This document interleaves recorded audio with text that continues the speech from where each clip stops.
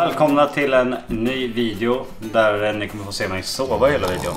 Nej, jag är så trött och förstörd. Eh, som ni vet så i förra vloggen så skulle jag åka och eh, jobba natt på filmen. Så jag tror jag sov två timmar och nu ska vi tillbaka dit igen. Men då får ni följa med. Ja! Men först ska jag hälla upp en megapint med cola.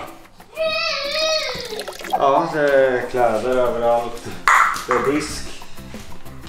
Det är livet. Nej men vi ska försöka komma iväg till inspelningsplatsen så fort som möjligt.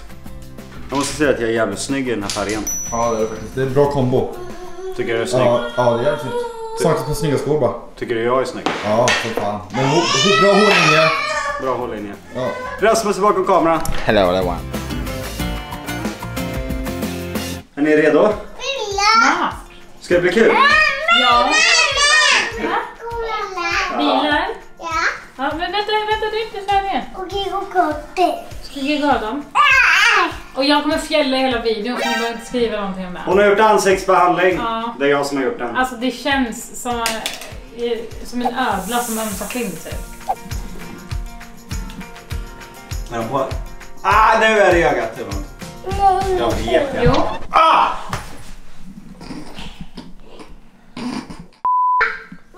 Kom. Så, Ja, men, var jag cool?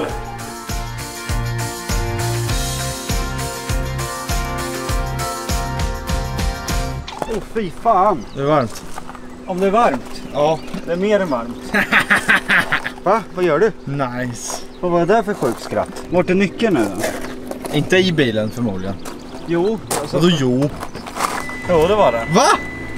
Det hade varit sjukt om någon hade klippt den innan.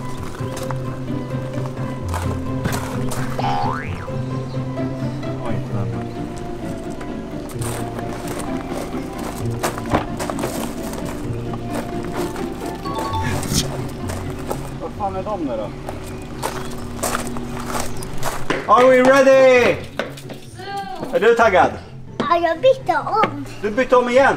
Ja, det, det, det var varmt med den. Ja, men det kan vara lite varmt på den. Du kommer tyvärr vara hemma. Det är så bra med tider. Det går bra med tid. Är vi där?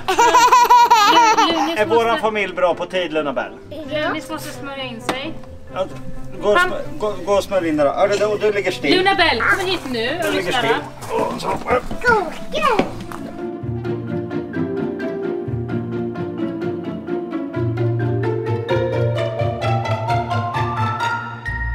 Nej, fel håll. Nu ska vi in i bilen. Och du också. Hörru, hörru, hörru. Nej, för...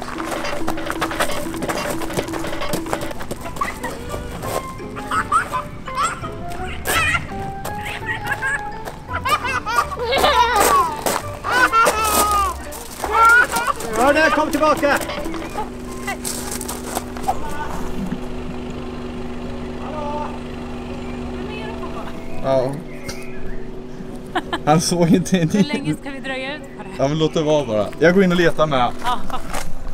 De är på baksidan. Kom på baksidan. Jonna, och du, du ska inte med fortfarande. Jonna! Fan, vi måste åka alltså. Ja, men jag, jag, Jag var stod ju och ropade på er. Ja, jag tyckte det var skitkul. Ja, Men vadå, hörde du mig? Och du... Men jag var ju vid bilen när du satte in Luna Bell. Ja men vad fan, In varför säger du att de är på här. baksidan då? Och du, du går in för tredje gången. Fan, den Och här inte ens har Den jag här på mig familjen skorna. kan inte hålla en tid alltså. Aj! Ja men varför går du utan skor För att då? de är hopknutna. Varför är de ihopknutna? Men jag vet inte. Är det du?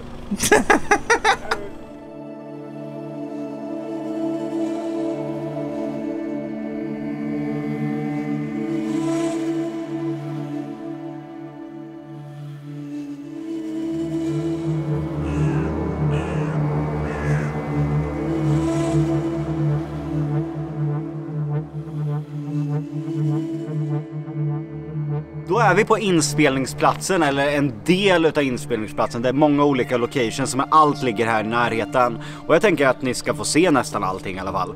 Och jag är som sagt var kreativ producent och exekutiv producent för den här filmen. Och för att ni ska förstå och bli peppade för att se den här filmen så tänkte jag berätta en liten enkel premiss och förklara lite om karaktärerna i filmen. Filmen handlar om en grupp influencers som ska marknadsföra en camping som ägs av ett äldre par. Campingen har länge gått med minusresultat och är nära konkurs. Det desperata paret ser ingen annan utväg än att använda sig av sociala medier. När gruppen väl är på plats får de höra om en lokal sägen om Märit. En häxa som sägs ha dränkts just i den sjö de ska bo vid. En perfekt story egentligen för gruppen att göra content till sin marknadsföring på. Men, men sägen verkar vara sann och får fruktansvärda konsekvenser baserad på en sann historia om Sveriges första häxa. Sägnen bygger på häxprocesserna som börjar på allvar i Sverige på 1600-talet. Den första att ställas till svars var Stor-Märit, Märit Jonsdotter i Älvdalen 1668. Hon kallades Stor-Märit eftersom hon hade en yngre syster med samma namn, som då kallades Lill-Märit. Jag tänkte berätta lite om karaktärerna i filmen också. Och Jossan är ju den stora stjärnan på sociala medier. Hon är där för att marknadsföra campingen. Ett jättebra betalt samarbete som hon har fått av sin nya manager Jens, som hon dessutom dejtar. Så det är egentligen hon som har dragit med alla dit. Hon har även tagit med sitt ex Dimman för att inför sina fans låtsas att de har blivit ihop igen och därmed kunna göra bra content och få upp siffrorna som har dalat lite en period. Och sen ska de såklart göra slut igen, så det blir lite dramatiskt. Kirsten följer egentligen bara med Jossan för att stärka sin popularitet utanför Twitter. Hon har en väldigt politisk inriktning, varit tidigare bloggare men vill bredda sig. Hon har väldigt konservativa värderingar utåt sett, men kommer den här gången att synas med sin flickvän Ava, som är en glad och jordnära tjej. Dimman brukade vara ihop med Jossan och då var han populär som Jossans kille. Han försökte då bygga sin egen karriär på sociala medier som träningsinfluencer, men var alltid Jossans skugga. Så Dimman ville väl egentligen bara en sista gång rida på Jossans framgång nu när hon bjuder med honom och få vara med på hennes vloggar. Basisten Jens träffade Jossan på en spelning i Stockholm. De började dejta och kort därpå la han musiken på hyllan och sadlade om till manager. Det här är första jobbet han har skaffat henne så det är lite stort för honom att hantera. Ava ser livet från den ljusa sidan och tar det mesta med en klackspark. En carpe diem-tjej som är helt olik sin flickvän Kirsten. Men det är kanske är därför de passar så bra ihop. Ava har gett Kirsten ett ultimatum. Om hon ser henne knarka en enda gång till så är det slut mellan dem. Elin är Dimmans nuvarande flickvän och egentligen outsidern som aldrig har levt i den här världen. Hon är en läkarstudent som helst inte ens syns på en kamera. Allt är nytt för henne, både sällskapet och Zoom-marknadsföringen. Hon vet att Jossan och Dimman varit ihop och nu ska ju de låtsas vara ihop framför kameran och Elin har väldigt svårt för det upplägget. Jag valde att göra denna skräckfilm för att jag saknar klassisk skräckfilm. Ett gäng ungdomar som ställs emot en antagonist. Vi minns ju alla Scream, Jag vet vad du gjorde förra sommaren, ja men ni vet den typen av filmer. De senaste åren har skräck blivit mer arthouse och alla manus tävlar egentligen om att försöka vara så komplicerade som möjligt och ha så djupa karaktärer det bara går. Men då uteblir också skräcken.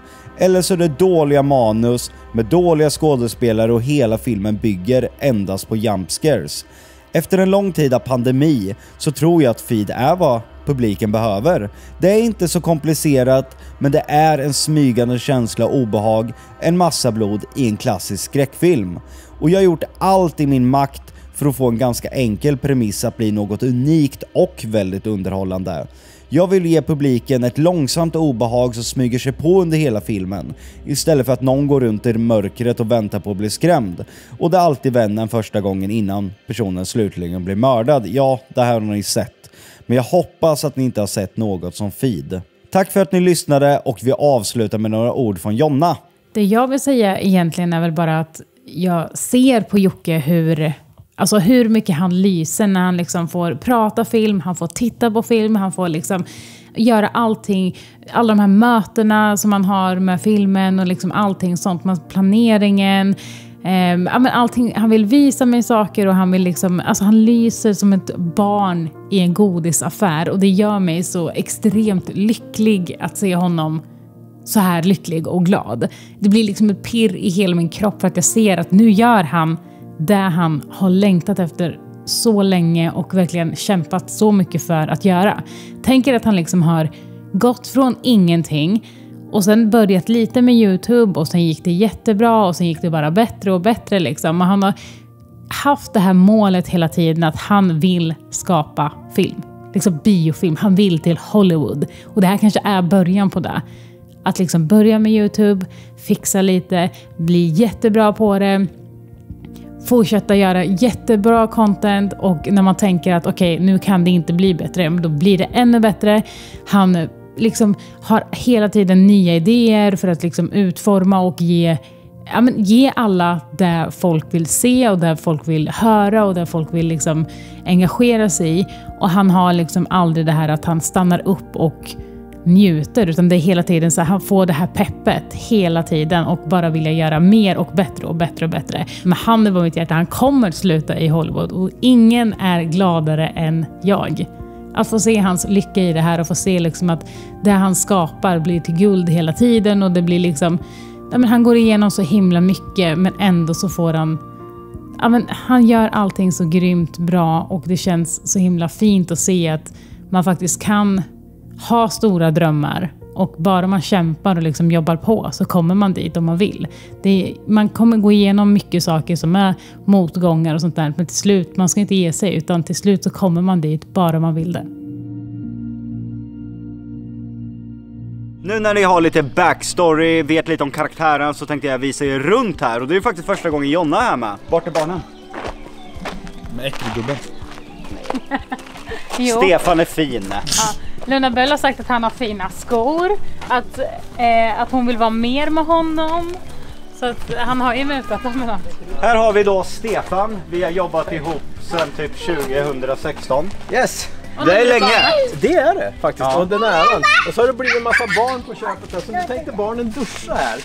Var precis på väg att stoppa. Nej, nej, vi ska inte duscha här. Lyssna inte på gamla gubben. Nej men Stefan och jag jobbar ihop med den här filmen, har gjort det i ett och ett halvt år. Ja, faktiskt. Sen 20, september 2020. Ja, så det är ett bra tag. Så det är coolt när man börjar få se summan av ens arbete. Ja. Nu har det verkligen tagit form. Eh, så att, eh. ja, ska jag gå nu? Du får leka med barnen så ska jag visa runt. Vill du följa med? Ska jag visa? Mm. Vi kan väl börja här. Eh, här har vi smink och eh, kostym. Här har vi filmens eh, regissör Johannes. Och här har vi liksom kläderna som skådespelarna använder. Här på andra sidan så har vi smink för skådespelarna. Och nu ska jag visa det coolaste av allting. Den här skitstora lastbilen som ser ut som något som det sitter massa hackers i är då klippbussen.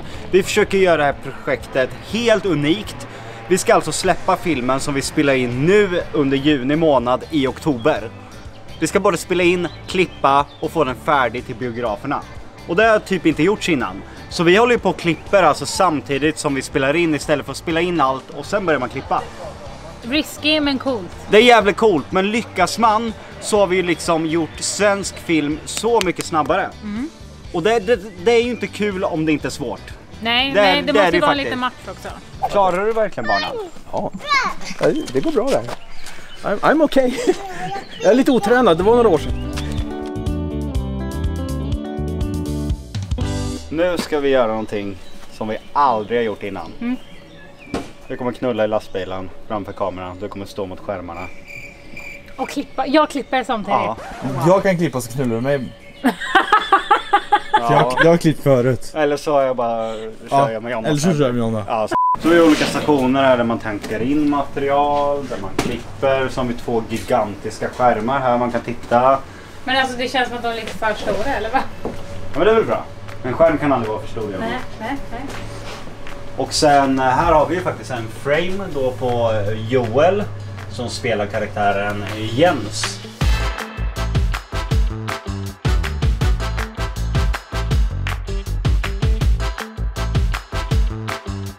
Här ska ni få se något jävligt unikt. Ni ska få se lite, lite, lite material ifrån eh, inspelningen.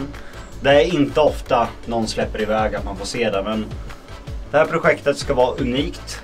Eh, det är till och med lite musikläggning på. Vi har ju en kompositör som heter Oscar som är helt fantastisk. Det som var viktigt för mig med den här filmen är att vi gör vår egen musik och vi försöker hitta en egen stämma, en egen ton för den här filmen. Ni vet till exempel som Star Wars, alla känner igen liksom themen. Visserligen kommer det inte bli lika klassiskt som Star Wars men jag vill ändå att när man hör det här så tänker man på filmen Feed. Istället för att man bara ljudlägger med en ljudmatta över hela filmen. Eh, men kom här Rasmus ska du faktiskt få se lite.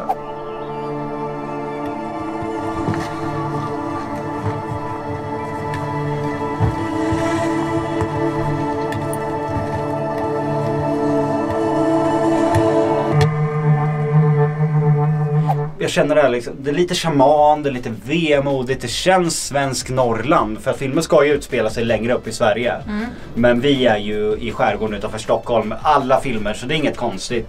Eh, till exempel eh, Midsommar, Midsommar den filmen som ska utspelas i Sverige. Jag tror att den är inspelad i Ungern eller någonting. Jaha. Typ alla filmer där det ska utspelas i Sverige, det är, det är typ Ungern eller typ Lettland. För det är mycket lättare och billigare att filma där. Det är ju som Marchen, den är inte på Mars utan de är ju i någon öken någonstans i... Kan ni typ... Ibland vet man inte ens om man är seriös. Man vet aldrig det. Nej Alltså, det, jag är seriös. Ja, man vet fan aldrig det.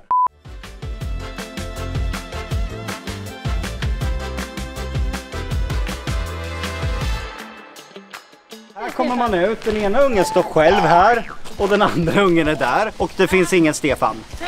Stefan! Den ena ungen är ju där nere. Jaha, ja men... Jag är...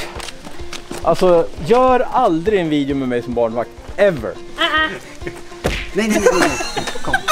Du är så jäkla ligist alltså. Jävla snorunge Ska vi, ska vi åka ut och titta på ön, inspelningsplatsen? En stor del av filmen inspe- utspelas ju där. Är alla engagerade? Vill du åka båt? Titta på ön? Du vill det? Ja. Vill du åka båt? Nu är ju skådespelarna här, men eh, vi låter dem vara för det är viktigt att de får vara i sin roll. För avbryter man dem med annat Ska filmen bli så. För att filmen ska bli så bra som möjligt så måste de liksom nästan ett par timmar innan liksom gå in i det här manuset. Fatta hur svårt det är för dem för man filmar ju scener väldigt hoppigt. Så ena gången så kanske de är kompis med en person de inte är nästa gång. Oh jävlar. Ja det är väldigt och eh, idag är det en extremt svår scen med stund till dessutom. Ett stund som är lite farligt. Så en av skådespelerskorna är jättenervös så det gäller bara backa lite så att de får andas. För det viktigaste är att filmen blir så bra som möjligt och att de får tiden och bara lugnet att prestera.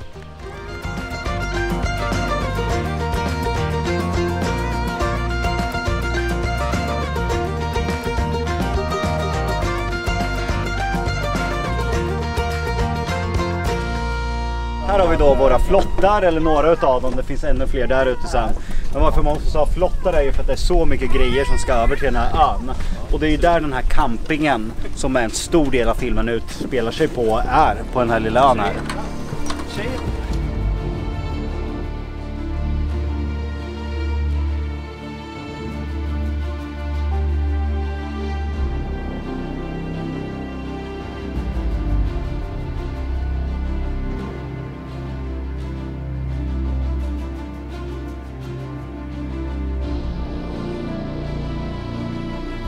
Bakom är ju tältet. Det är ju glamping det här äldre paret har. Så tältet är en del utav det. Vi har bastu och sen har vi entrébryggan med bord och allting. Men den här ön är ganska liten men den kommer kännas så mycket större i filmen för det är bara liksom vissa locations man filmar här. För att den här ön ligger väldigt bra till när man skjuter utifrån för att det är mycket skog runt om. Man känner sig isolerad. Men en film alltså studsar ju på massor inspelningsplatser. Så när de är i skogen på den här ön kan vara på en helt annan ö om ni fattar.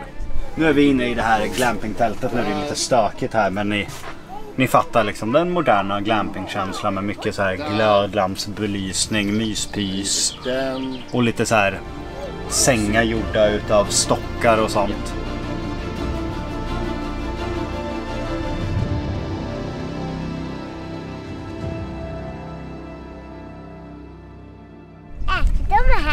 Ja, här äter de i filmen. Och grillar lite där. Nej men här är ju liksom ankomsten för den här eh, influencergänget och deras eh, respektive och så. Och jag tycker det är jättefint. Eh, Ja, det är inte riktigt ballonger kanske som jag utlovade men Ballonger. ja, försiktig där nu. Inga ballonger. Och där har vi ett litet soldäck också. Var? Här. Var försiktig där så inte ramlar gärna ut och träffar. Där kan man sitta och sola. Men det är ändå ganska gött. Ja, men jag har hjärtat på mig. Och gud. Ja, Vad du är har ju det. det? Vad det är? Det är strumpor. Nej, jag menar inte det. Där. Ja, den brygg... Nej, fågel menar du? Mm. Ja, det är en fiskmås. De ska man akta sig för. De är luriga. Då är det dags att åka tillbaka hem och lämna Jonna och barnen. Det är ni alltså. Men ska vi trolla oss hem. Ska vi göra det? Ja. Okej, alla med. Då kommer jag göra så här. Sen kommer det komma en jäkla massa rök. Och sen är vi hemma. Okej? Abracadabra, simsalabim, som Harry Potter säger.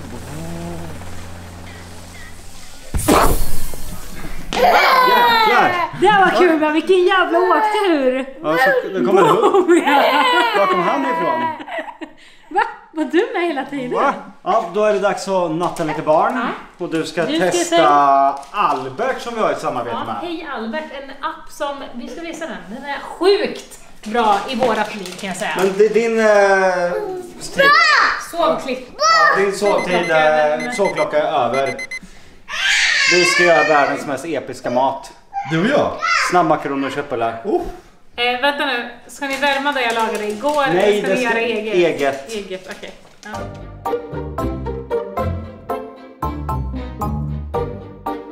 Sådär, nu ska vi göra ett samarbete med Hej Albert. Och det här är en produkt jag verkligen vill rekommendera. De utgår ju från roligt lärande och jag önskar att det här fanns när jag var barn. Jag har ju alltså koncentrationssvårigheter, jag blir väldigt distraherad och jag behöver ha någonting som, att alla lär sig på olika sätt och det skulle vara kul att lära. Annars så funkar det ju inte. Verkligen. Eh, Jag jag har ju inte inlärningsproblem utan jag lär mig jättefort så länge jag tycker det är kul. Exakt, precis. Och tycker jag inte det är kul, ja men då funkar det inte. Och Albert har idag alltså 300 000 familjer som använder deras tjänst. Och eh, vi har en rabattkod som heter Lundell20. Så har ni 20% rabatt när ni laddar ner den här appen. Och Luna Bell tycker det här är jättekul och hon är så fruktansvärt duktig. Dra kortet som börjar med ljudet I den här övningen så kommer man få höra första bokstäven och den heter hitta ordet. Och sedan så ska du dra den symbolen. Här har vi en uggla, en boll, ett eh, åskmoln och en, vad är det? spår. Bra! Du är ju grym. Är det mygga, bil? Alltså vad duktig du är! Mygga. Bra! Just för det här ändamålet så hade jag gett Albert 5 utav 5 i betyg. För det finns inget bättre sätt att lära sig och Luna Bell tycker det är kul. Eh, Det finns så brett med matematik, svenska, finns till och med engelska. Alltså hon frågar ju om hon får spela. Och det, det, då vet man ju att det är bra. Hon lär sig och hon tycker verkligen att det är någonting som hon längtar efter. Liksom. Och som sagt var innan vi avslutar, Lundell20 tycker verkligen ni ska använda vår rabattkod, få 20% rabatt och testa på det här. Det kommer att göra skillnad. Och ni som redan har den här appen och använder, ni vet hur guld den är för era barn. Så absolut, testa på detta. Rekommenderas varmt utav hela mitt hjärta. Det är en bra sak för barnen och det utvecklar dem.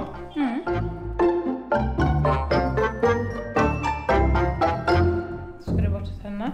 Jag orkar inte gå. Vad ska vi göra då då? Ska du krypa dit? Kom då vovven! Luna vovven! Hej vovven! Hej vad fin! Och är två hundar. Och du hörde du! Va? Ner med dig! Vilka kommer i munnen om man inte borstar tänderna? Tand... gollen. Tandtrollen ja! Va? Ah! Ja, de äter upp tänderna. Alltså det. De älskar smuts i munnen. Och då sitter de och tuggar och... nam, nam, nam, nam, nam, nam, om kuka på godis. Ja, om du har godis mellan tänderna så kommer de ta det. Ska vi borsta Det. Nej, du har vita fina tänder. Vad brukar du säga att pappa har för färg? Gul.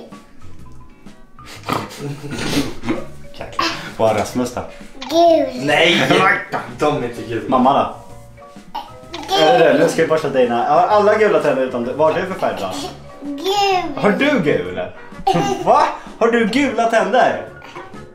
Vad ska du få för färg nu då? Är det kallkolvar på mina tänder? ja, om vi inte borstar kommer de. Vi tar bort tandtrollen. Nu när de känner tandkrämen då smiter de. Där såg en, en hoppa ut där. En hoppa Ja, ut. De hoppar hoppar de ut. ut. De hoppar ut. Nu hoppar de med tandtrollen.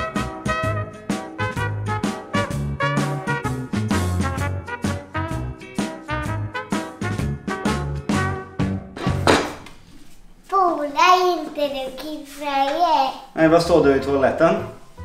Kiss? Ja, mer. Inget. Vad låg det under kisset? Jag vet inte. Bajskorv. Lite bajskorv? Och vem var det som inte hade spolat? Ja. Nej, jag tror inte det var jag då. Ska vi gå och berätta det för mamma? Att du har en snuskpelle i huset. Ja, nu Ja. spolar inte när han kissar Men det gjorde pappa fall. Jag tror, jag tror det är tvärtom du. Pappa får jag gott ja. Mm, vad tur. Oj, oj, oj, oj, oj. Nu är det dags. Oj, vilka fina tänder du har! Wow! Är du redo att sova? Ska du säga godnatt? Älskar dig. Älskar dig mer. Älskar dig mer. Alltid mest. Jag fick ett sms nu. Inte från dig. Även om jag önskar, jag vill alltid smsa dig Åh, vad Batman. mysigt det hade varit om det bara kom upp såhär Trum, buffen. Jag vill ha mat. Nej men om vi ska vara seriösa så fick jag eh, sms från eh, den andra producenten att det inte går att filma på inspelningsplatsen. För att det är för mycket saker på plats, för mycket runt skådespelarna med smink och allting som gör att man avslöjar handlingen utav filmen. Så vi kan inte filma på ön överhuvudtaget. eh, Och det finns inte så mycket mer annat att filma. Så det var lite dålig dag att välja då idag händer det saker som påverkar för mycket i handlingen. Så eh, vi får tänka om lite med vloggandet. Och jag har faktiskt en idé. Vi ska göra någonting som Rasmus aldrig har gjort tidigare. Ja, är det någonting som gör ont? Det är tyvärr ingenting som gör ont även om jag hade hoppats så. Blanda inte in mig i allting. Jo. Jag, fan Jag älskar att blanda bara. in dig, ba- men bara när det gör ont. Ska få städa lite. Nej, det tänker jag inte. Kolla på! Nej, Det där är ju hans största skräck. alltså, nej, jag ska inte städa någonting. jag har aldrig sett Nej, jag har aldrig sett dig städa heller. Det är så jävla sjukt. Det är dags att göra skillnad i ditt liv. Kan vi börja med den här tallriken? Tar vi med, ja, ja, tar vi med den? Ja, diska tänker inte jag göra. Gör sådär bara. Nej. Det där är ju inte riktigt att städa. Jag får bort allt i alla fall så det ser hyfsat Du får bort allting. Ja, så det ser hyfsat Här har vi ju ganska mycket att röja. Ja. Hur tänker du här? Eh, den här är inne i kylen. Får jag känna? Ja, det det är faktiskt kvar i den. Ja. Den? Vad tänker du där? Slänga. Slänga? Bra. Det var fullt. Vad tänker du då? Då vart det då? Vart är det då? Ja, vart det då. Då eh, när eh, soppåsen är full, Ja. då måste man faktiskt byta den. Det är så. Ja, det, är, det är typ det som vart spärren. Ja, det det är spärren. jobbigt som Ja, fan. vad har du gjort hemma? Där. Lagt den här bara. Du hade lagt den där. Men det kommer vi inte göra idag. För Nej. idag kommer vi förändra ditt liv. Ja. Din megapie. Men varför städar vi nu? ja. Det här blir lite det, konstigt det, här det nu. kommer inte framåt. Nej, Nej, den är min. Nej, jag tar hand om den. ska du göra så får vi göra. Alltså hans när han tar fram Han flyttar ju bara saker till ett annat ställe. Ja, men så blir det för fint fram till kameran. Locket. Ja, du kan lägga den där i disken. Du kan ligga så. Är det här ditt? Ja. Varför ligger den där? Det är Fivax. Alla barn. Är, Alla barns favoritvax. jag skulle precis säga, det är klart att det är hans vax. Ja, det är fan. vi använder inte sånt här. Och det kör den alltid med. Jag ska stocka.